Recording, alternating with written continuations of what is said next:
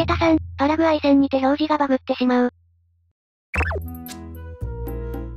なんやこれ。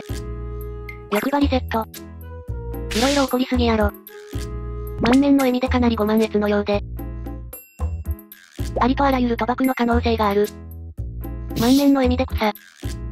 これ倍率やばいやろめちゃくちゃ買ってそう。スマブラのシュルク。レッドカード以外コンプリートしてて草。マリカーの一番強いアイテムやん。ミラクル8みたいで草。これミラクル8は秀逸だな。OG とかもしてて欲しかった。グラセフの武器選択画面。ないだろうけどこれを予測してかけたら何倍なんやろか。これはやってるわ。